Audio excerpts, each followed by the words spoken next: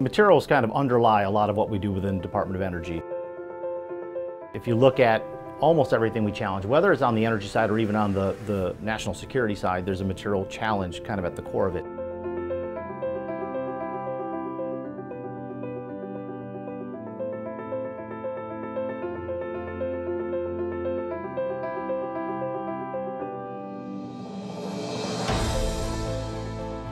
Manufacturing is an expensive process and when you commit to it, it's very expensive, whether you're a small company or a large company. And so people want to make sure that the risk is out before they go and spend the money to put it into big uh, manufacturing processes.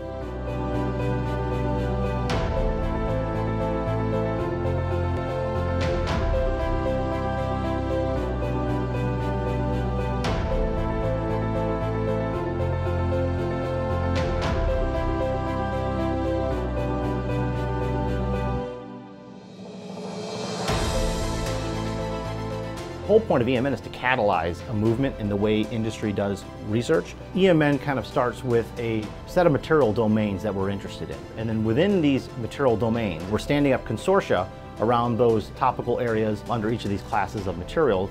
And then we are networking those consortia together that essentially talks about the consistency and a set of principles that we want to have across uh, each of the consortia so that they operate uh, generally in a cohesive way and that when we tell people about how do we do materials research, uh, it's, it's clear and consistent.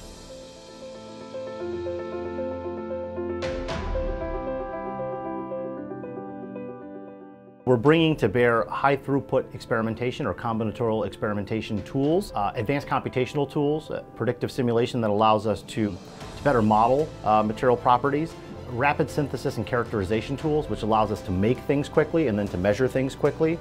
Uh, and then the data tools and informatics that allows us to capture the data, analyze the data, and then apply it forward into the next best process. For every 10% reduction in vehicle weight, we get about a 7% improvement in vehicle fuel efficiency.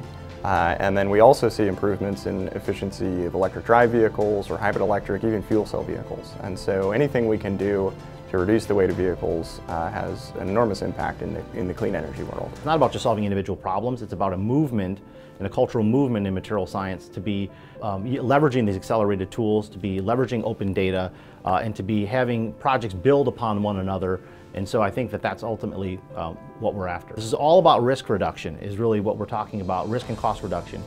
And ultimately, we think that you can take, you know, materials that take 10 to 20 years to develop and, and lower that down to under 10 years, you know, and that's our goal is to really do things at, at half the cost and at twice the speed.